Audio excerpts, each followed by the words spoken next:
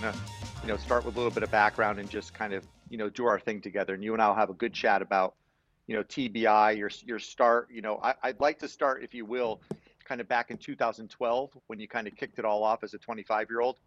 You know, and this whole kind of journey thought process started for you. Just for a little background, if you don't mind, if we can kind of, if, if it Sure. makes sense to start there, because if I'm correct, if I remember doing my research correctly, that was kind of when you were, if I remember, you know, looking yourself in the mirror and staring back at a 25 year old that wasn't quite the person you recognized in the mirror and you decided you wanted to make a shift kind of thing. Does that sound right? Yeah, it's pretty much. Um, Yeah. Uh, yeah, yeah. I'm. I've always been, you know, and it's a pro and a con, but I've always been an all or nothing person, and um, Yeah. I mean, yeah. Um, you know, you have to be the fastest, you have to be the strongest, you have to be the best, but that also means you had to be the most drunk, you had to be out partying the longest, and you had to be this and that. And looking at my family history, um, that's not not not a good good one. And and uh, I think I was yeah back in yeah it was 2010 or something like that when I looked my or no it was, yeah I looked myself in the mirror and I said look hey look you don't look like an athlete you don't sound like an athlete um, and I've always known deep down in my bones that that's what I am and that's what I'm Yeah. um, that's what that's when I'm at my most comfortable and that's also when I'm at my happiest so Yeah. Understood. yeah, and then then then, then I kind of made a decision. I was like, okay, well, uh, people had been telling me that that um, that people have been telling me that yeah, well, you're an addict, and and and you can you know it, it's clear. I mean, addictive personality. Uh, we can see it. You either go all in or nothing. And for me, it was actually a real surprise because. I've kind of lived my life with the blinders on. You know those uh, race horses that have the the blinders on Yeah, the side. yeah. They got. I mean, I wasn't, and it's not a bad thing. It's a positive thing. I wasn't really interested in what other people thought or whatever other people did, and I always kind of um, assumed that everyone was the way I was. But um, yeah, it wasn't. And then I decided, to look, I can either be addicted to drugs. I can go that way when alcohol probably won't be enough. Um, or then I can turn turn it around and you know pick up sports again. And I happen to Yeah. be. It's so funny because I happened to be dead drunk at a bar when I uh, bet. I made a bet with a friend to do a Olympic distance triathlon, and that from there it was all go. So That's so, so, yeah. funny. I, I and I read that story. I read that story, and that's. I mean, you know, it's it's ironical and funny at the same time, right? Because Yeah. that that's how life happens sometimes, right? You know, that a, a door of perception opens up, if you will, Yeah. and and bam, there you are. And you know, I you know, I have a I have a performance yoga teaching background as well, Robson. So I Oh, used yeah. to teach up in New York City. So I would get a lot of people who were, I'll say, shifting a, a, a worse addiction to a better addiction. There was still was the addiction, right? So they would go from doing drugs and alcohol and uh, you know body scarring or whatever they were into, right? And then they would come into a yoga room and they would take yoga classes five times a day because they were thinking at least that's not as harmful, right? But it was still overconsumption and overdoing all Yeah. the time, right? So so I find that really interesting. So when you know as someone with a TBI, as someone with a traumatic brain injury, right, and and someone who comes from that addictive background, have things shifted for you at all? Uh, uh, Does that addictive quality get muted at all? Is that still front and center, or are you have you just learned to harness it in a better way over the years? That's a really good question. Because they say that with traumatic brain injury, you get better at the things you were good at, and you get worse at the things you were bad at. So I become a lot more impatient. I've become a lot more black and white in in in in bad senses, yes, but I've also become um, a lot more aware of what I don't want in life and what I do want. okay. And and um, I I've spoken in I, I'm I'm I'm so damn lucky because I, I get to speak for uh, the Kids and Youth Foundation in Finland. So I I've spoken in f- sixty schools, And Wow. yeah, yeah, it's yeah, yeah. I have to pinch myself. I think about ten thousand kids have heard me speak, which is just, it's, it's I mean, yeah, it's it's the best. I'm not even gonna call it a job, but anyway, it's the best thing that's ever Sure. happened to me. If something good has to come out of all the pain I feel every day, then then then I'm happy to, that that's it. But they always ask me, this it's pretty much the same question. How do you know what you want? And I always say, well, it doesn't matter what you want. You just want to know what you don't want. And then you can find, or the thing finds you that you're happy with. Like me, for example. Right. I mean, in 2012, I had been searching already for a few years about what it is. I went back to old sports. I do used to do a lot of yacht racing, um, which I still think is awesome. I played hockey, but that didn't quite do it for me. And my friends were doing marathons, and they looked at me and said, "You know, you're not a real athlete if you haven't run a marathon." Which, Right. I mean, yeah. and and I had yeah exactly. Um, but then I found triathlon, and it was this it, whole. It, it triathlon is perfect for me because a, uh, you get to do three sports. B, it's the distances are so. Hmm, what word should we? I think we should use the word inhumane, because I mean, for for Right. three It's point right? kilometers, It's yeah, Yeah. yeah, and I mean, Yeah, right. of course, you can you you can do a one you can do one Ironman distance. You can do that with the whim, I, I with a whim, and just like just you know, if you decide you're gonna finish it, you're gonna finish it. That's not an issue. But to do Yeah. it well, you have to be so dialed in with not only the training part, but with everything else in your life. And I was pretty crap at that, managing my time. But now, Okay. with um, with my brain injury, I've become better at it. So a long answer to your to your question, um, but it also the addiction has come out in the form where I was addicted to my benzodiazepine pills, which isn't Okay.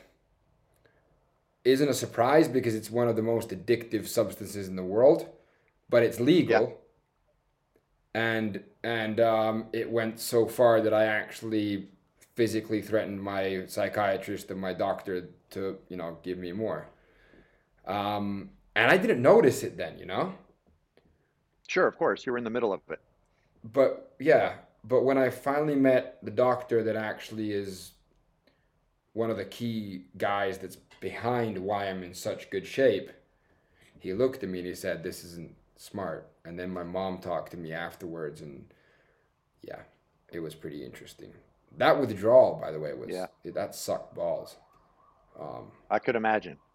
but I could imagine. but yeah, so, So, so is, is your mama is your mama is your mama strong influence in this aspect of your life? Is she has she always kind of been by your side and always been a full support for you? I'm super lucky because my family did not call me crazy or anything like that that I know a lot of other families do when when the doctors don't believe you. And, Sure. Uh, the influence, my mom's influence is definitely she's one of the main reasons why I'm still on this planet, um, why I'm still Yeah. alive. Um, but th- not to not to subtract any of the the the the glory and the and and, and the respect that the rest of my family does. But she showed me in 2000 and hang on, it was 2005 when I got diagnosed with migraines. Um, and for six months we spent um, we spent hours in the car just driving around to different doctors and finding the reason for why I had those migraines that I had. And then finally, we got to a doctor that actually um, uh, could help me. Um, and it was a mixture of tension headaches and it was a mixture of migraines that had come out um, because, well, I got, we know that it's hereditary and it's my mom actually that has the migraines, but she has one that, that doesn't have an aura that triggers it, but I have sunlight Yep. and so on. Um, and then she kind of like, she, oh, well, yeah, there we go. That's not, Yep. that's nice. Um, so Yeah. Right. yeah. So um, I wish we didn't have that in common. exactly. Yeah. yeah. But she she kind of laid yeah she laid the foundation there for me that that and that was for my brain injury then it was like you don't give up you know? It is it, it is what it is it's painful it's it's it's it's a warped reality but you just you yeah you don't give up. And so so yeah yeah she was. And then throughout my you know reactive depression and all of that she she was the one that i could um she was the one that listened to me in a special way. Um she kind of never spoke first she always spoke when i was uh when i had uh, uh, when i had kind of opened the conversation Yeah.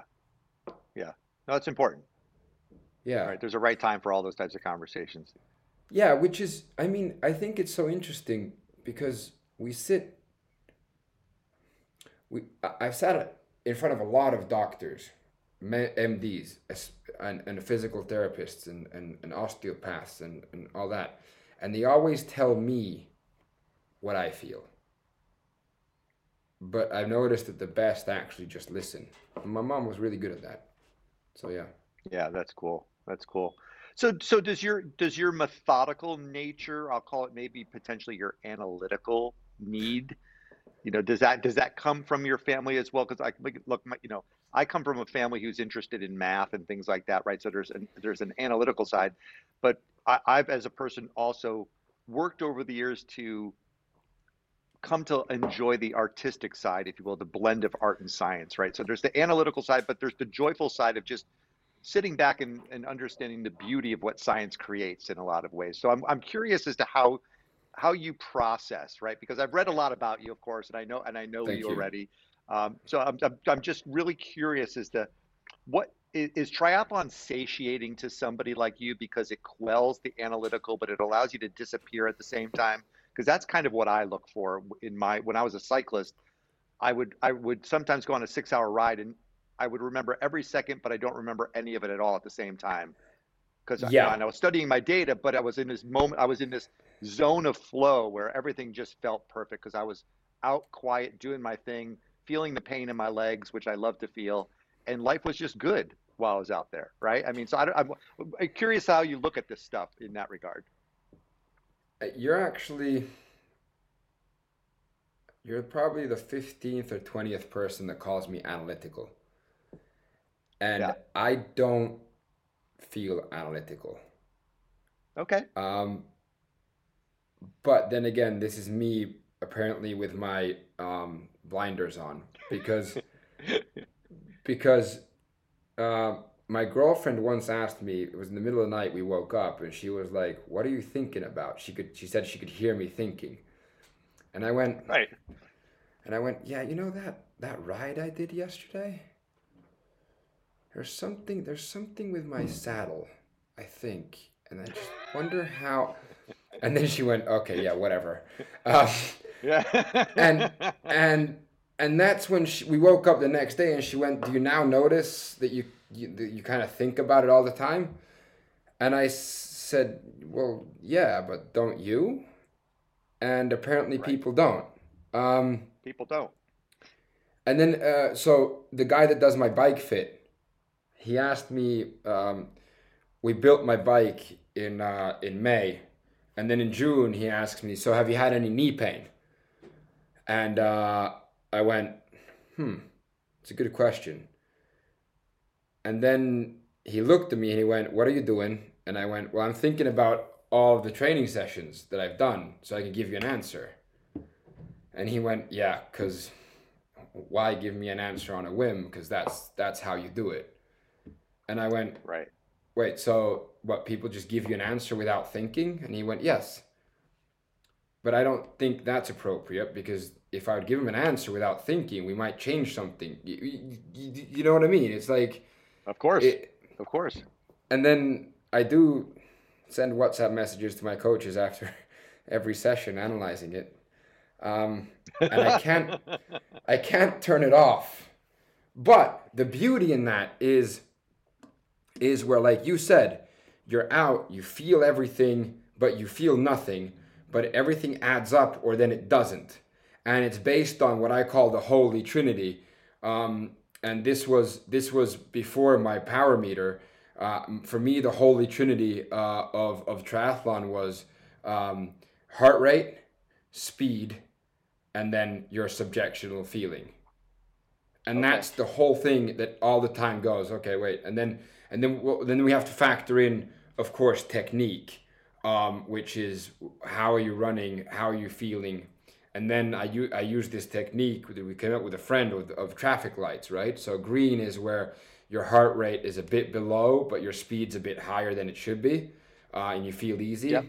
Yellow is performing at base level, and then red is where you know your heart rate's really high and your speed's really low, and you feel like crap. Um, and then and then when that hits, I usually visualize um, me running over the finish line, and then everything kind of comes. But so yeah, that's long. I mean, analytical, I guess. But but the beauty is in that where during training, you you you kind of do what's told. You execute, try to execute exactly what's told, and then afterwards you take a look at the data, and then you can build a plan from that. And then for me, it's really important not to talk to my coaches during the session so that I, I, can talk, talk to them afterwards. And then we analyze and we go, okay, well, with this information we have now, that was a good thing. You can do something better there. You, you know what I mean? And then, of course, I do. Uh, so, so basically, your your your coaches are not a crotch. a, a crutch, a crutch. Like when when I mean, instead you make decisions based on your knowledge, and then you can execute on race day with the artistic freedom because that's it, right? a lot of triathlon is monotonous execution without you being an artist. But then the race yep. is actually you being the artist. That's when you have your entire color palette and you got that white canvas, and then suddenly, yeah. Um, but I do like, I mean, I don't care about my watts or my heart rate or, or anaerobic threshold or, or, or, or anaerobic aerobic threshold or that, but I do love the numbers. Yeah, right. So you're a closet. Uh, we'll call you a closet analyst, right? yeah, yeah, yeah, right? yeah, exactly. Yeah, yeah. yeah I, I, like. I like, I've never thought like about what, that. I like what you said about. I like. I like what you said about your coaches because I, I had the same experience. Um, I, I never wanted my coaches to be a cheerleader or to be in my ear while I was racing because it was my job to fail or succeed and then to share with them afterwards. If I had them in my ear trying to raise me up or lower me down. And that's this is just a, a me thing. Uh, it's not necessarily all athletes, but I wanted to succeed or fail on my own, and they were there to support me before yeah. or after, not during. During was my time. Yes. And I find that interesting that you say that similar concept because not all athletes are built that way. Some of them, depending on your personality profile, right? We're all different. Some people need the cheerleading. Some people need the constant feedback, and you know, absolutely. That, that's why I kind of yeah, that's why I kind of think of you as a fellow analyst in a way because when that's when when we get along to be left because alone, the last yeah. time we spoke, it, it flowed, you know, and and there's and that's what I like about about your mentality too is that although you're confined to your aerobic threshold, anaerobic threshold, wattage, uh, speed, distance, it's not that. It's actually about you painting your canvas about being an artist, and that's your form of art. And that took me a very, very long time to understand. Yeah, no, it's such a cool concept, and I because I think every every athletic endeavor, and like you said, with a triathlon, you have hours to be oh, yeah. with yourself, right? And it, but at the end of the day, it's this beautiful chessboard because you have to make tactical decisions every moment of the race. Yes. You are literally making hundreds of thousands of decisions throughout those hours, and you might not even realize it because it becomes intuitive. And I'm going to segue here. You're going to let me segue, uh, Rob, Absolutely. because I kind of segue into breathing, right? So it's like for me, that's the moment where I found when I was a young man after my injuries, after I broke my back, breathing was my way to not become irrational working against my athletic plan right so but after after i got hurt and i was angry and depressed and mad at the world and yeah. I felt like everything was ripped away from me. All those kind of wonderful things you go through during those stages in the beginning. You know, you, I'm sure you're aware of those, right? So, yeah.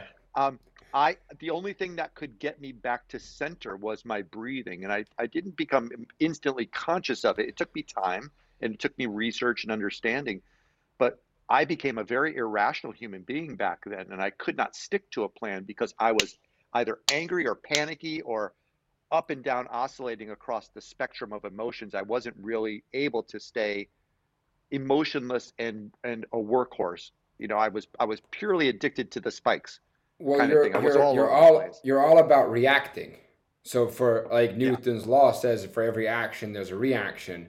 But and that's really interesting because I think that um, especially in today's world with social media and all this kind of crap that's good in in in its purity, but it's really crap because people have gone from only reacting to actually thinking about the action.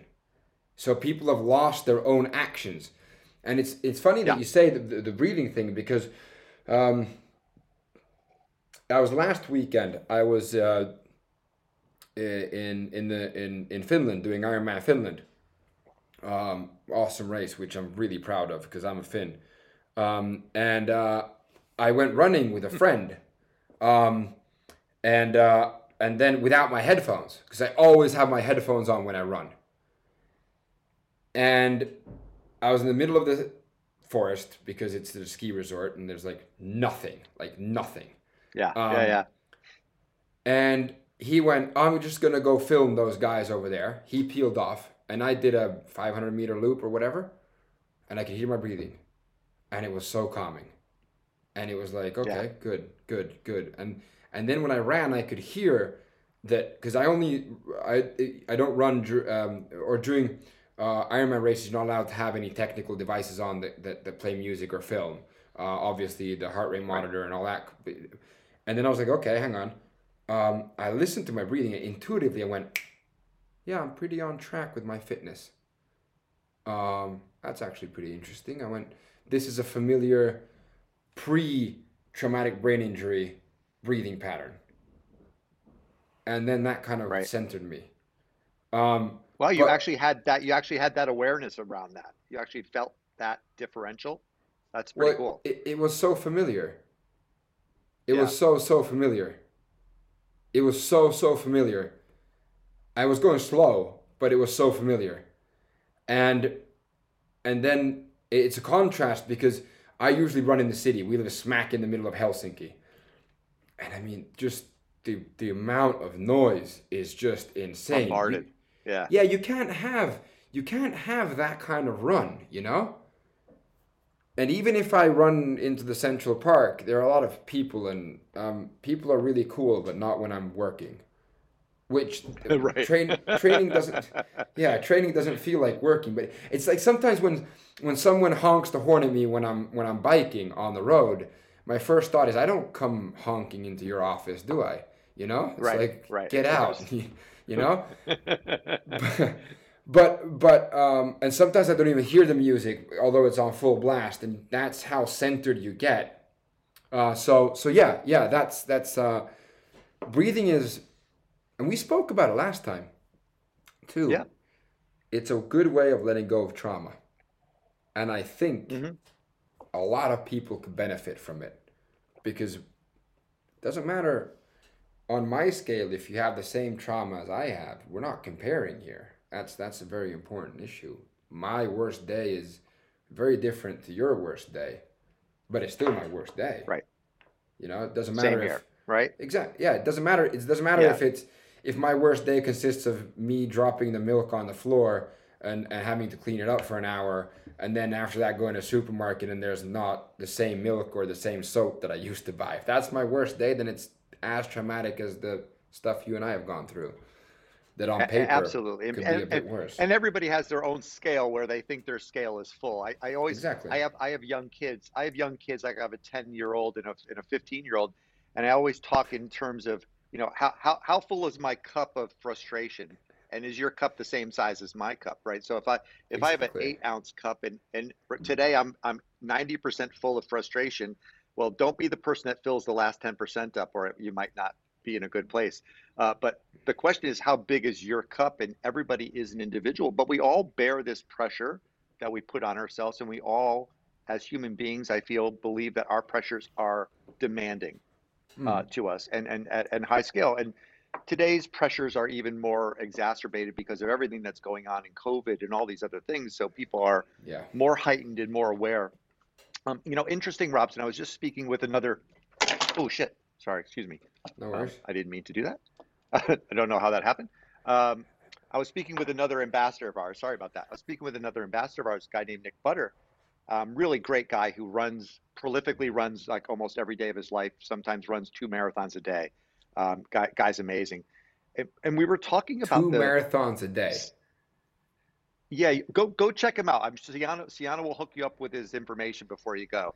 Um, he's this incredible guy that we work with, and he's. I think his next thing he's going to be doing is running around the entire country of Iceland, um, and and he has a nonprofit attached. He's out there doing it for awareness purposes, but the guy Yeah, literally yeah. runs. Uh, I think he literally burns through one pair of sneakers every week. Literally, that was his statement on because he's running sometimes five to seven hours a day.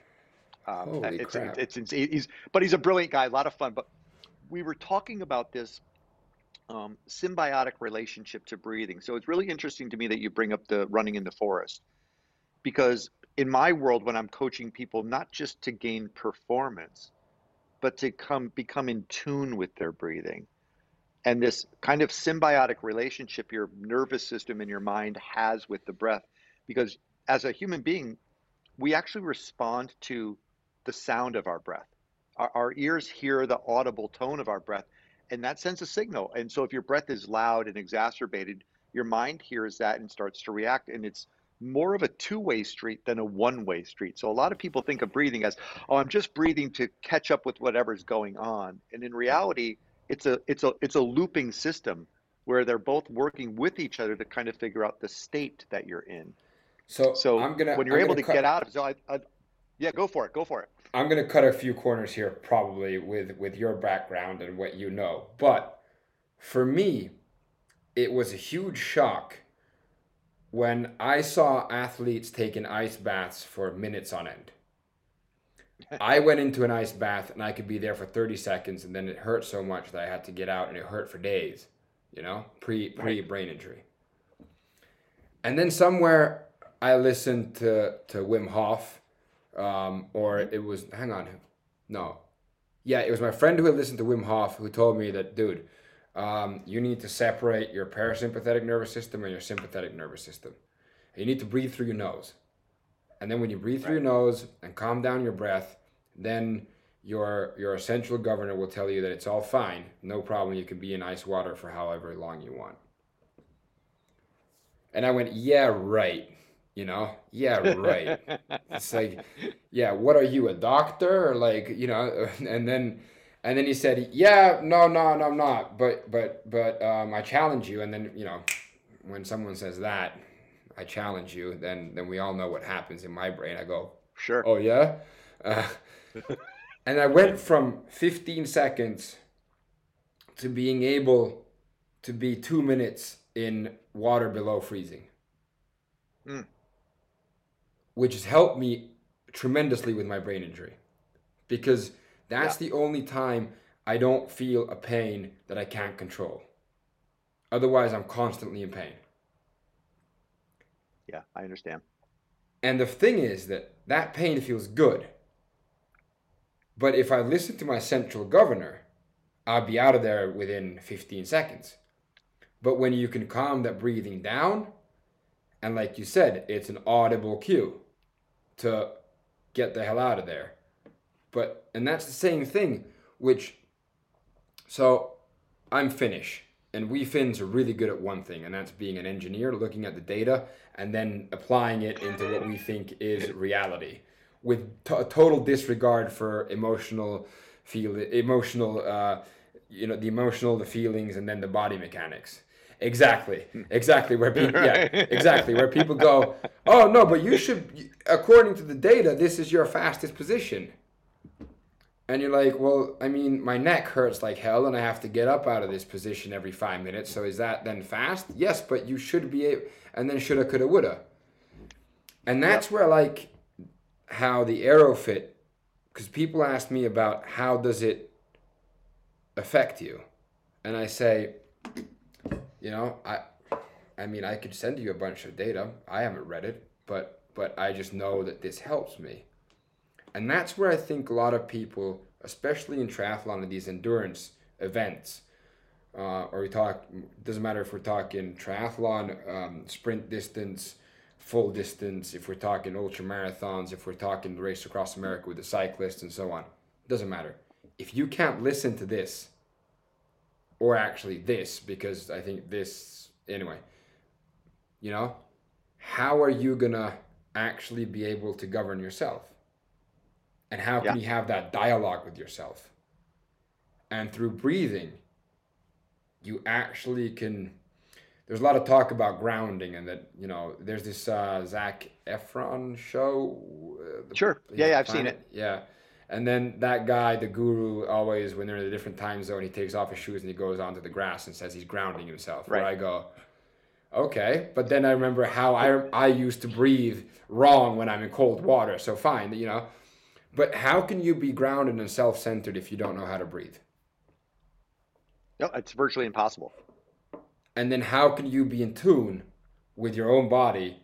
Because if um, there's a there, there was a really good article in a Finnish newspaper where a friend of mine said that um, elite and professional sports where we push our bodies has nothing to do with health. But an injured body cannot perform records. I agree with the second part. So, so in a sense, in a sense, we're pushing our bodies uh, uh, as as well, not me, but as as like if you think about these uh, Usain Bolts and these guys that runs mar- run marathons or the cyclist or whatever, it's not intuitive that you do that amount of training. It's probably not. No, not at all. You know, I think I think I spoke. Who I spoke to someone last week who said that uh, basically our body shouldn't be able to do an Ironman, but with the gradual training, we build up the resistance to be able to do it, and we talk to our central governor enough that it lets us do it. Mm-hmm. Right.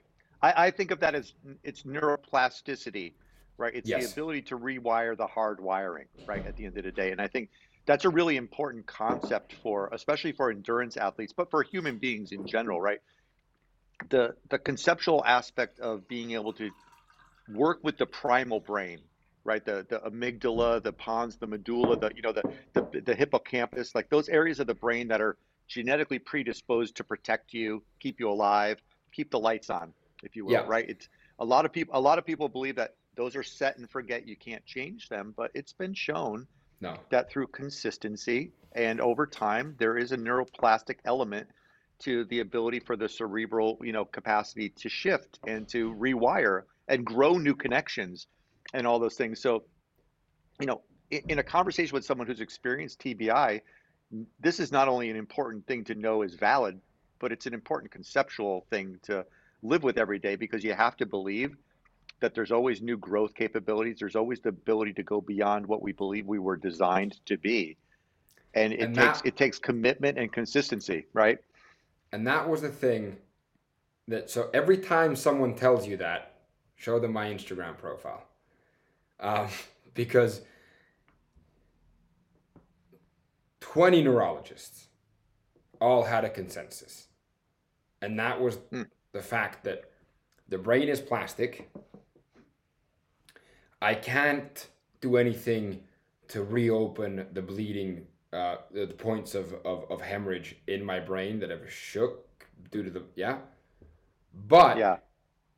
There, there was an, I quote, there is no financial or medical reason why we should put down resources on you because you can't uh, uh, you can't uh, you can't rehab yourself into anything else than a person who can't do any sports or work or whatever.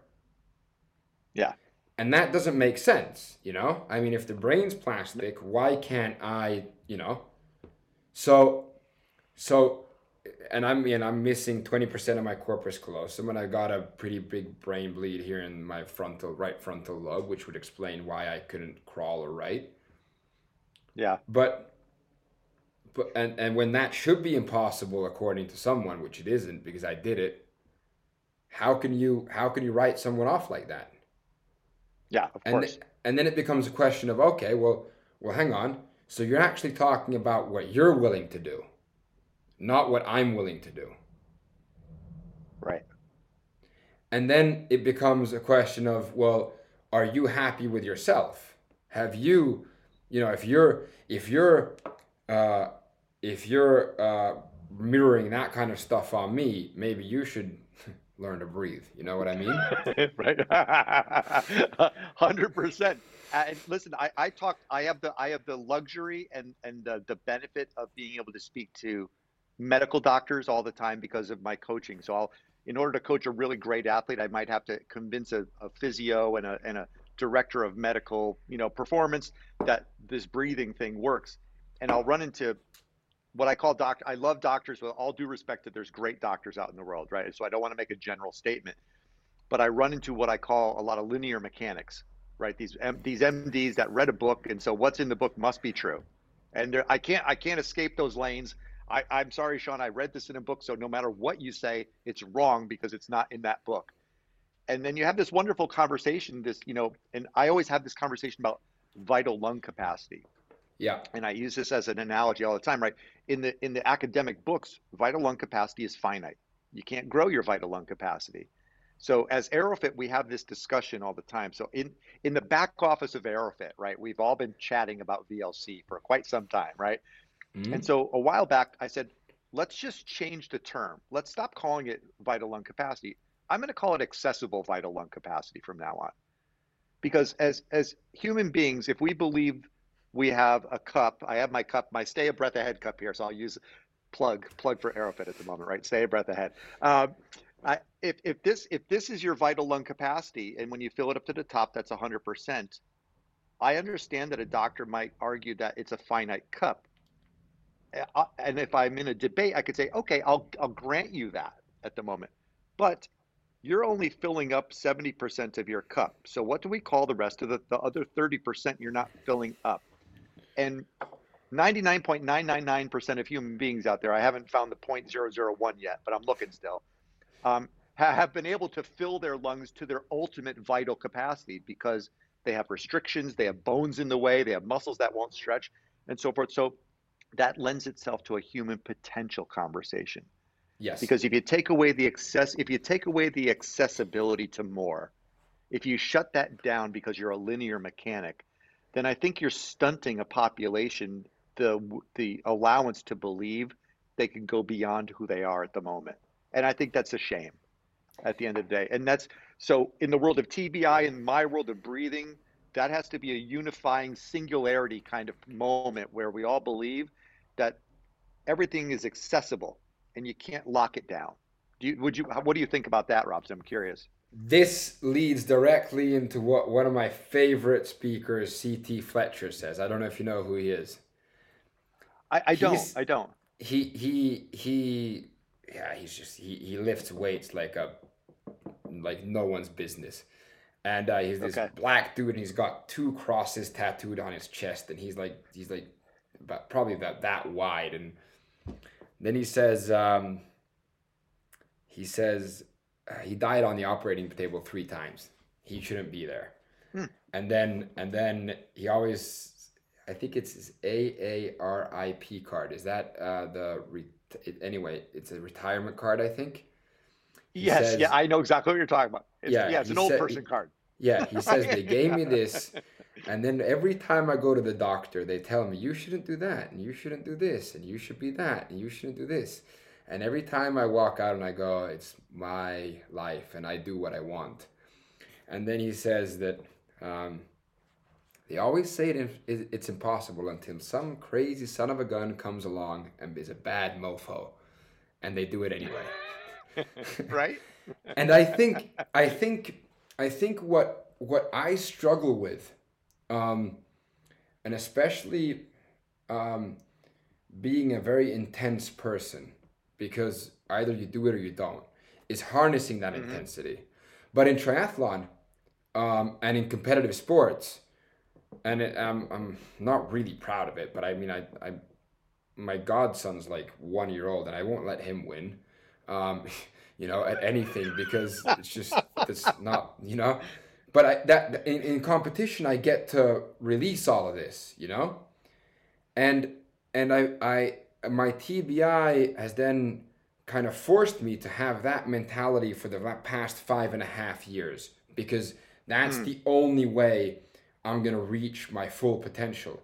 When I reach my full potential, I do not know. I'm I'm scared as hell to hitting that wall of people going, okay, well, you know, that's how much you can recover from your traumatic brain injury.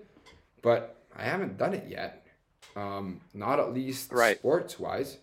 Um, I mean, we cycled up and down hills last year for for like a few days, and you know, and it's all the gradual stuff. You know, it's like what you say; it has to be done in increments, and yeah. So so I I I I believe that, you know that that if it wasn't for the Elon Musk's and the Steve Jobs and Nikola Tesla's and I mean, well, h- how many people weren't persecuted back in back when the church was everything, you know? And they said that the solar Oh yeah, system... don't get me started. Yeah.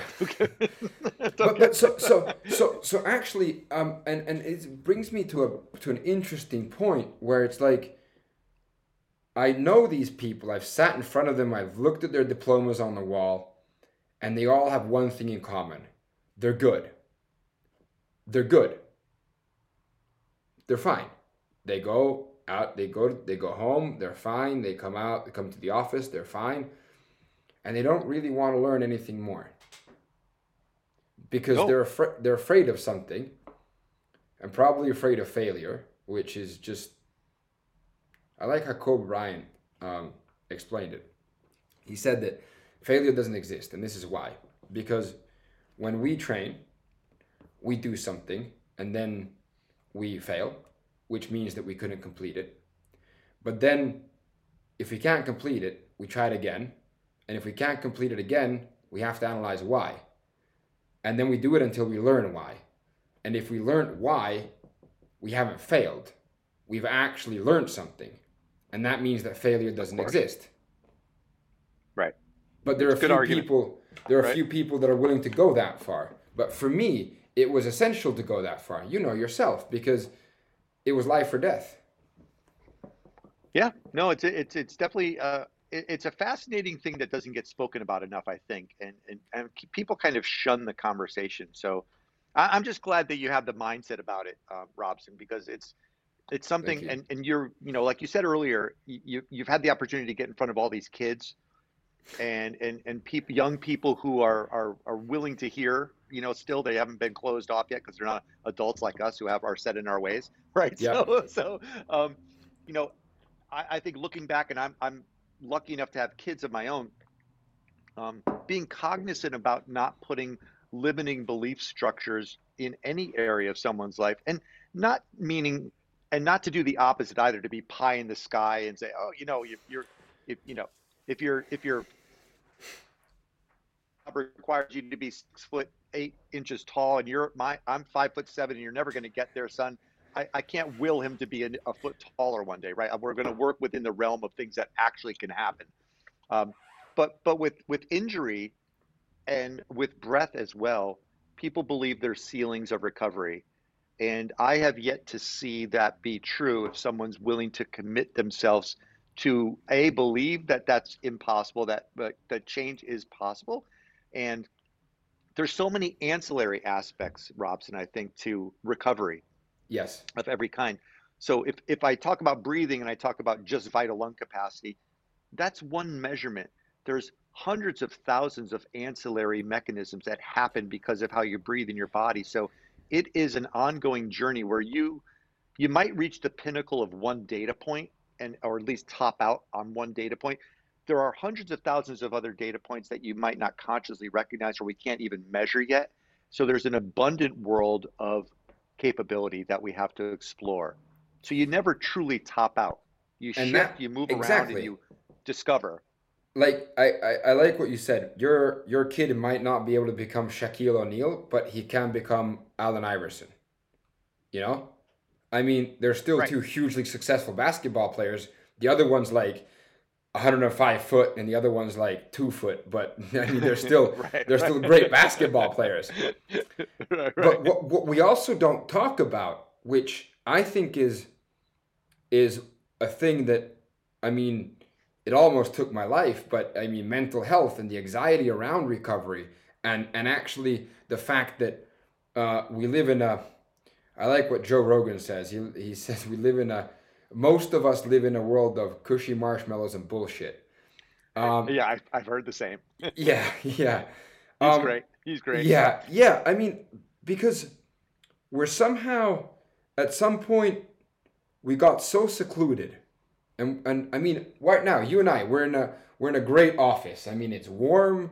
Uh, it's actually well, it doesn't it's not raining outside at the moment, but it was raining. I'm not wet. Um, we can close the window. If there's a draft, we call the maintenance guy and go, hey, look, dude, that window is broken. He comes and fixes it. it's a question of is it now or is it in 72 hours or somewhere in between?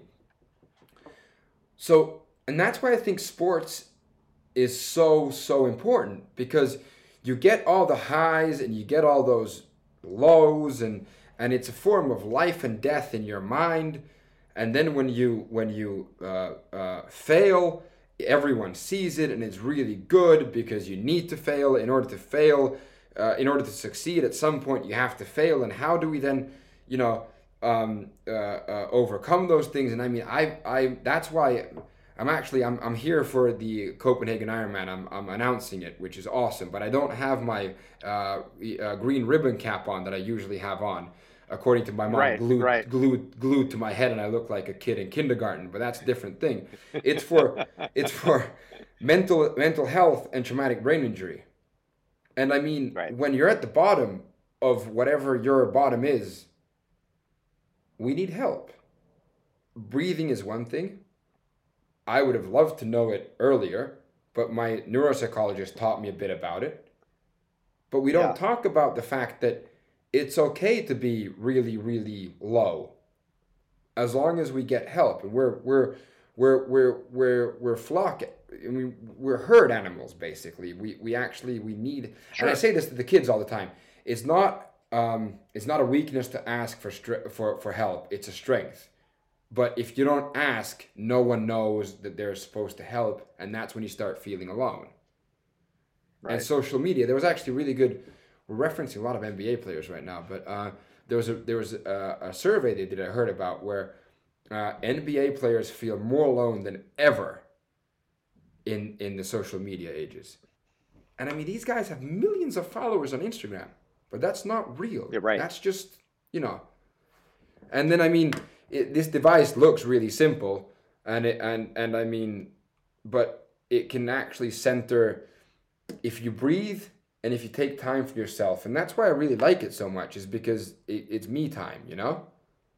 It's it's yes like, thank you for saying that. I think I, I think that's so important for everybody to hear because I, yeah. I get asked about it all the time like you, well you're introducing technology to take me into breathing that's kind of contradicts itself a little bit and i laugh and i go put get the airofit put it in your mouth and look at that look at that damn little red ball on your screen yeah. and you know, 10 minutes, five minutes from now after you've been breathing, you tell me if everything else hasn't vanished because if you don't get that damn little red ball to follow that line and any, how does anything else exist while you're watching that red ball, right? Every, nothing, I could have chaos swirling around me. If I'm tuned in on that red ball, I don't care. Exactly. Exactly. Right. And that's the thing, right? So, so you, you look at that red ball, nothing else matters in that sense. And then after that, you feel centered and it's me time. And then how often do you actually have because the the app if you get a phone call or whatever whatever it doesn't really recover from that which is good because then you have to do it all again and that's that's good because you know it's me time I, I do have one warning and that's for if you do this on public transport if you do it at night beside your girlfriend or partner or whatever you have not very popular. Um, but because, yeah, because you sound like Darth Vader and you're no one's father right. in that room. Um, and but but the funny thing is that um, I got told uh, a lot, but you should start meditating. That's really good for you. And then I tried, I downloaded apps and then and then when I I just the voice was so annoying. I mean, like hmm you know, when someone when you're really angry and someone tells you, "Sir, calm down. We did get you the right plate." Yeah. You know, it's like no. Anyway, and then the worst thing is like, well, meditate for ten minutes. Go into a room, turn off the lights, and think about nothing. Well, how annoying is that? Right. I, I I got a friend who yeah who told me uh, she's an uh, an MD in Asian medicine and she was like I got uh, okay I, I know what you mean that's really annoying and she was like okay count one is an inhale and two is an exhale. And so so odd numbers are inhales and and and and even numbers are exhales. Get to 99 and then count down back again and that should be at about 10 minutes. When you lose Mhm. track of what you're counting start over. And i went well how hard can that be?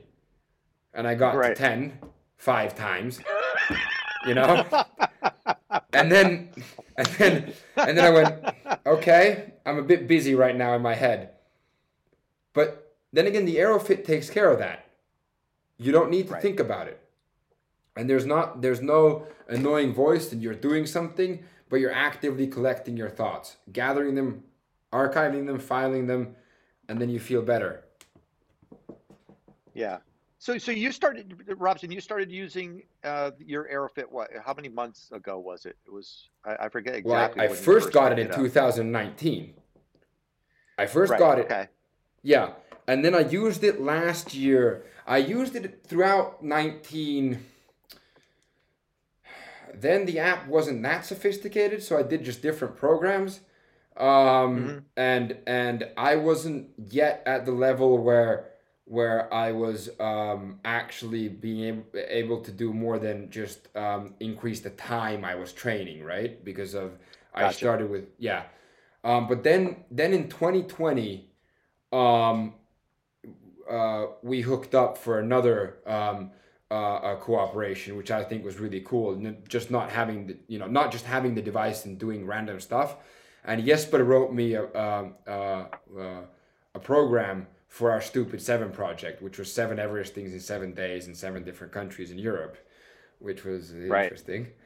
But Yeah. and then and then I used it to to, to kind of get uh, the efficiency because you don't really break aerobic threshold in that. That's what you just try to go, you know.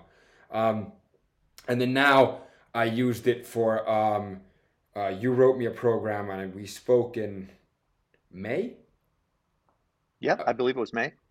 And then I used it May, June, and then half of July, and then life happened. Um, and then then I've I've been carrying it around with me all the time, but I haven't really uh, used it, and that's why I think it's really cool. I get I get to be held accountable when I come to the office and people go, and I go, yeah, thanks, Robson. yeah, yeah, yeah. no, but But thanks now- for being, thank, thank you for being, thank you for being honest because that happens to all of us, right? It- This is, yeah, this is my full-time job. Not only is this my job, it's my passion on top of it. I, I love breathing practices and I do them every day. There are plenty of times where I get pulled off center, I run out of time, life changes and life happens. Um, what I would like to hear from you, and because I've heard this from a lot of other athletes and people in general who use Airofit, they they feel they engage with it for a period of time.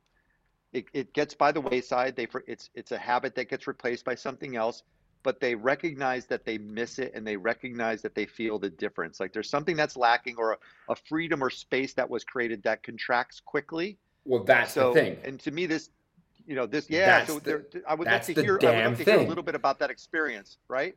Did That's the nag at you a little damn. bit that That's the damn thing. right? that I know Yeah. that solution is right here and it's in my bag or it's on the table or whatever, and I just can't get around to doing it. You know?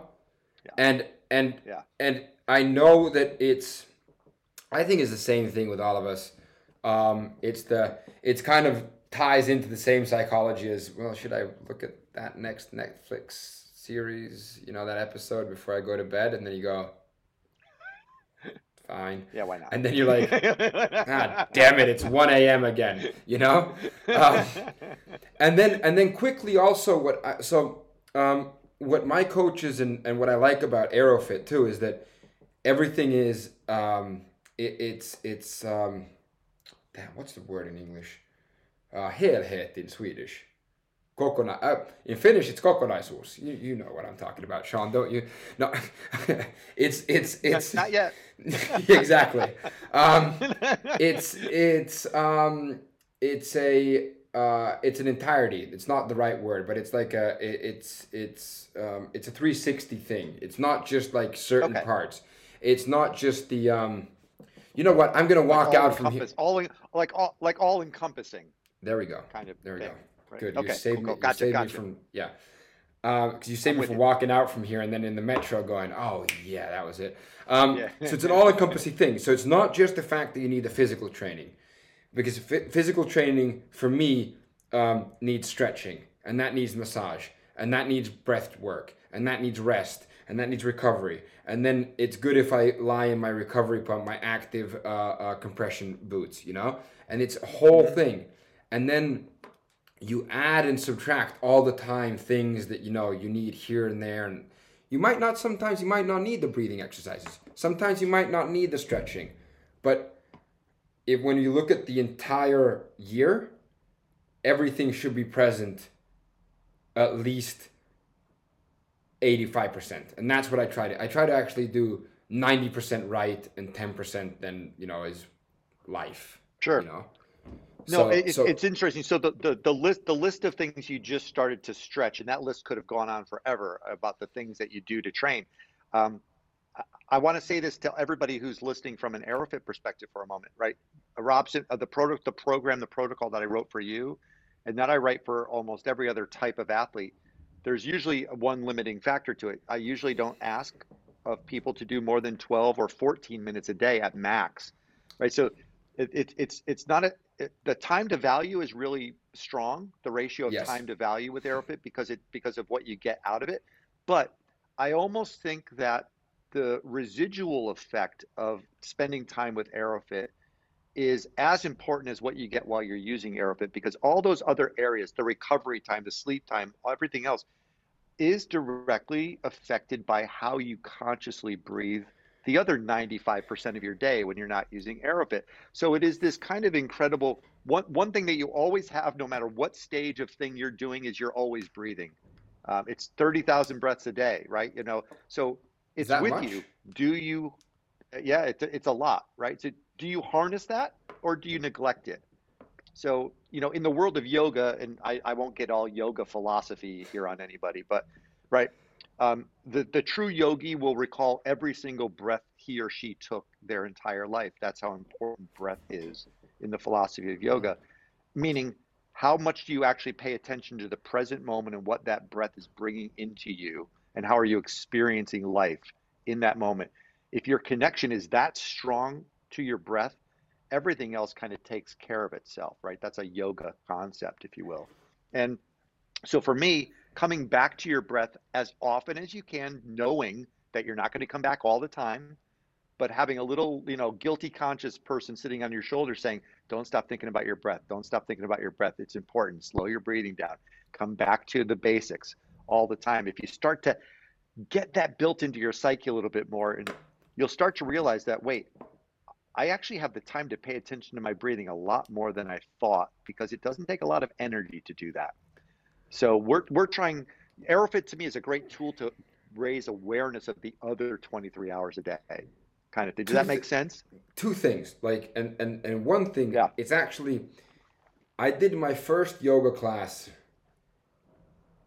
i can't remember when it was but it was back in 2000 and it was prior to 2010 but i can still remember when i when i for the first time took the the what do you you call it the hang on what's the breath mechanism called? You, there's a ucha. No, hang on. Uh, U- Ujjayi, Ujjayi. yeah, yeah. I remember. I remember when I Yeah. I, fir- I, remem- I remember. I remember the feeling I had when I first hacked that. You know that breathing. Yeah. Which is really interesting now that you say it. I remember exactly where I was. And and and yeah, I remember it, which I think is very um, telling that, that that's it, actually it. And yeah, for everyone that thinks you have to sit for an hour with this thing, and that's that, that's not true. It's like it's like you said, you you you uh, you did a program where it's uh, four plus two minutes in the morning and four plus four minutes in the evening. And and one thing that I, I, I got after I started with Aerofit was when Tony Robbins said that if you don't if you can't take 10 minutes out of your life to do something for yourself, you don't have time at all and you're not in control. right. And that's what I feel. That's that's that's the anxiety that that, that that's built in here where it's like, oh God, I should I should, I should, I should. And then you're so grateful afterwards that you've done it. And you get a physical benefit in your training. So absolutely. Yeah. I mean, you can't you can't always find four hours to get on a bike, but you no. you pretty much can find ten minutes. But think about it. Somehow, somehow I managed to carve out ten to thirty hours of training in a week, and I can't sit down with this thing for four minutes. Where are my priorities? Huh? Yeah. I'll Where are my priorities? yeah, exactly. I need to set myself. I'm going to go an home. Endorsement. That's quite an endorsement, Robson. Thanks. no, but I like I need to. I'm gonna. So I live at the the the race venue hotel, Comfort Hotel Copenhagen Airport. It's in the wrong. I said in the wrong order, but it's a cool hotel. And I'm gonna sit down because I live on the 11th floor, and I'm gonna sit down with this thing today. I promise you. Siana, who's here yes, too, who's yeah, I promise you, I'm gonna and you hold me accountable to it. I'm gonna sit down with this thing. I'm gonna look out over Copenhagen and probably close my eyes, and then I'm gonna breathe. We'll have we'll have Siana hunt you down if you don't. Uh, so uh, uh, yeah, want, you know where I live now. Evi- we yeah. want evidence. we want evi- we want evidence, Rob. Oh yeah, yeah. It's in the form of a story. It's an Instagram story. That's the only way I can be held accountable. Yeah. Yeah. All right. Fair enough. Fair. We'll and the thing is, the, th- no, the totally thing cool. is like the thing is like which which is like after that you glide into it and then you're in your new routine again and then the, the monkey's off your back and it's all good you know? Of course of course. And we're all every, all human beings do that. It, exactly. it's, it's it's it's it's hard for the best of us to consistently do the same thing in and out because people seek variety as well right? There's always there's always a uh, you know you're looking for the next shiny object you're looking for the next thing that might change your life a little bit. So there's a lot there's a lot of space we're competing for to consistently do the same thing all the time. So um, you know, the fact that you're coming back to it, more important to me is I like the idea that you recognize that you missed it or something was missing when you stopped doing it. Yeah. Because that's a sign that it was creating something inside of you. Yeah. Right. It was allowing you to feel something different. And so hopefully we could find ways to make that call a little bit stronger. Like as a, even as a company, Airofit, right?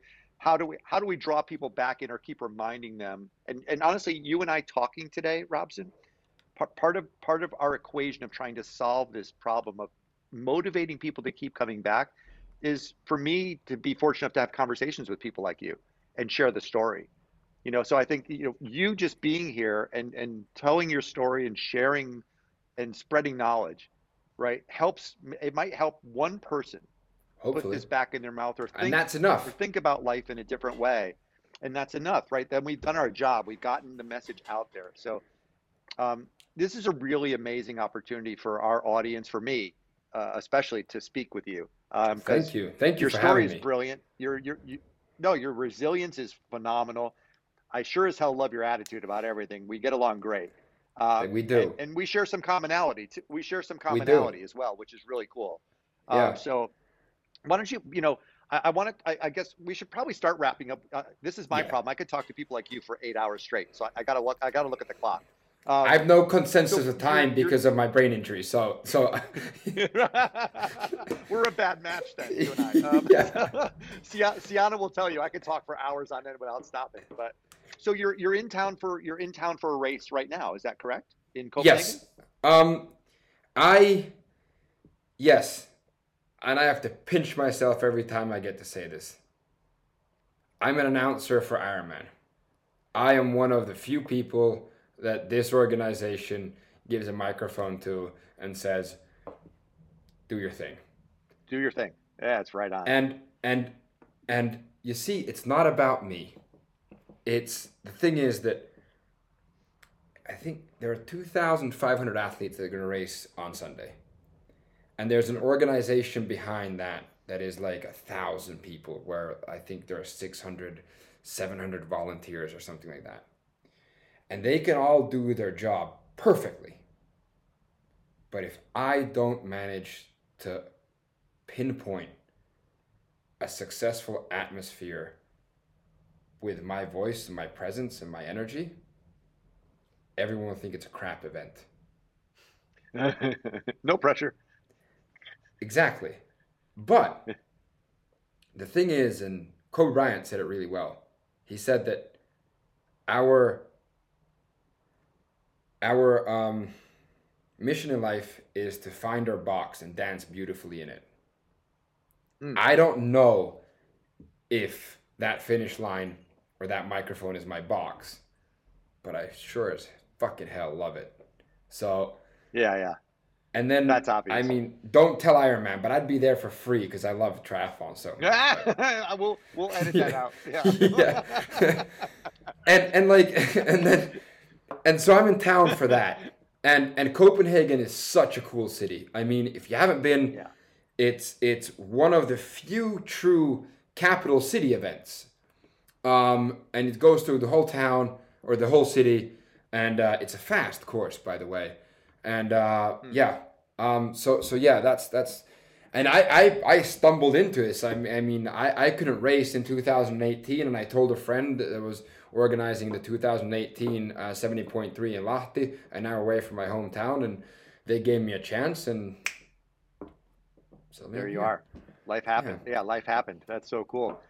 Uh, so, so, so, what, what, what comes next, Rob? What, what's beyond this week for you? Like, what, what are you looking at for the next, you know, six months or year? Like, do you have any cool plans or anything coming up? Yes, I rate, I, I, I go. Um, so, yeah, actually, I do. Um, yeah, and this is probably the coolest thing ever. Um, which is I'm checking my phone now, um, because our due date um, was on Friday.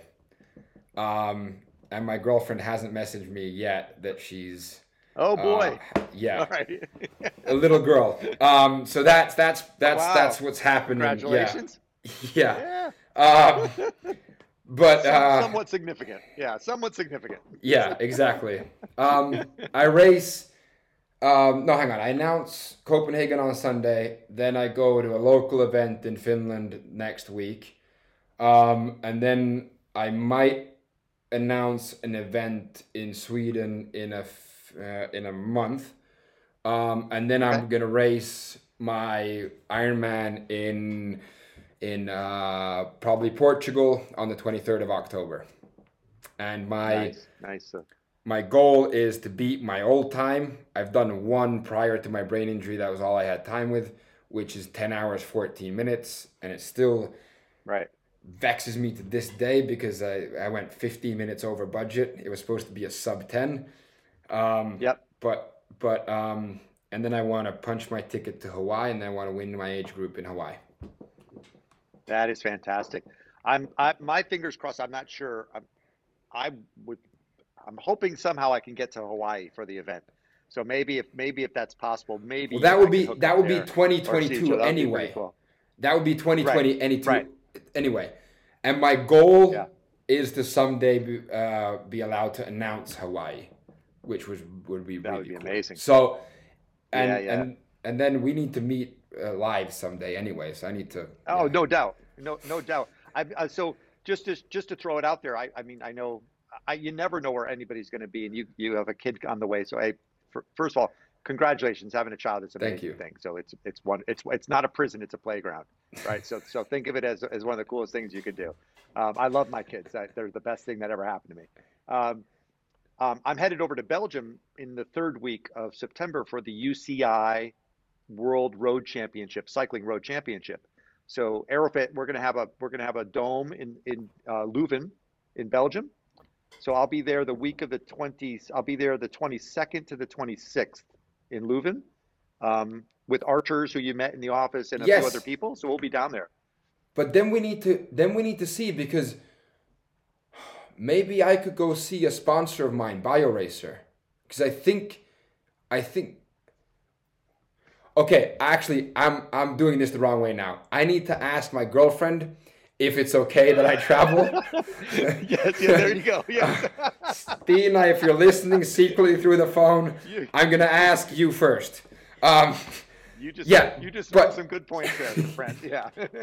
yeah, but but, uh, but act because Yeah, that could be. That could be. Yeah, yeah, yeah. We could definitely do that. Yeah, absolutely. I'll try to make please, that work. Please come down. We're, if you can. Um, first of all, we're going to have a lot of other cool friends coming to see us there too. Yeah. Lots of people you would probably like and get along with because they're a bunch Absolutely. of. Uh, it's a real. It's a real cast of motley people, right? We're all like we're all crazy people who love sports and stuff like that. So I think we're going to. Oh, I'm perfectly sane according to myself. That would be awesome. I'm perfectly yes, sane yes, right? according to myself. Yeah, yeah. well, anyway, let, let's see if let's see if let's see if that works out for sure. Um, I, I, I, I, don't want to be remiss um, because we're doing this, we're recording this for YouTube, right? So I want to make sure that in, in the comments below, I am sure we will have your social media uh, information and you know if there's anything else that you want to share down there you know once this is produced robson let's make sure the audience knows what you're up to how to follow you how to keep yeah. track of your life and stuff like that Please. so everybody can stay engaged and um, if and if if let, you let, want let, if you want to send me a message instagram is probably the best uh, send me a dm ask me about the airofit you know uh, i'll be happy to answer any questions um, and uh, yeah absolutely Instagram, if you send me an email, that's probably the worst way to get a hold of me. Um, same. I, yeah. Same. Yeah. So so just DM me. Yeah. Absolutely. Okay. Yeah, that's very cool. And so what so for everybody who doesn't know, so what what is your Instagram handle? And of course we'll write it down. We'll write it below, but what is your Instagram handle, Robson? Yeah. Rob, oh my gosh, Robs- I'm calling you on the spot. Robson.Lindberg. That's it. I knew Robson it. Dot Lindberg, everybody, right? Yeah. Okay, we'll make sure we write it. Sorry for the quiz. Um, no, don't worry. Don't worry. Accountable. I mean, I forgot my Alzheimer's medicine at home, so it's all good, you know. right. This is the best day to forget something, right? well, listen. I, I mean, let. I, I think we should probably wrap it up just for yes. time constraints here, because I, I, I have I have calls I have to get to, and I know you have other things to do. But I would like to, you know, from the bottom of my heart, for everybody in Airofit, thank you uh, for taking the time, Robson, to come chat. Thank You for it's a pleasure, me. dude. It's great. You, the, I now get to smile the rest of my day because I shared some energy with you, which is really awesome. The same. So uh, much thank appreciated. You. Much appreciated. Yeah. Thank you. And thank you, by the way, to the person, the person I think to your left, Siana, who is putting Siana. all this together yes. behind us, right? So thank you, Siana, yeah. our, our, friend behind the scenes there who makes all this magic happen. So good job. Uh, right. Um, but any any last thing to say, Robson, other than goodbye? Just I'll give you your I'll give you the last word here, if if you want. Thank you for having me on. Um, it's um, many people ask why I work with brands, and I work with brands I get along with. It's not for the financial incentive. It's not for uh, it's it's it's mixed of it's a mix of, of data and it's a mixed mix of feeling. That's that's very important to me. And then let's let's um, let's maybe end the way I usually start my talks, which is if you can see the invisible, you can do the impossible. And if you think seeing the invisible is hard, you're doing it right now. I've got traumatic brain injury, and I shouldn't be here, yeah. but I still am. So thank you. Right on.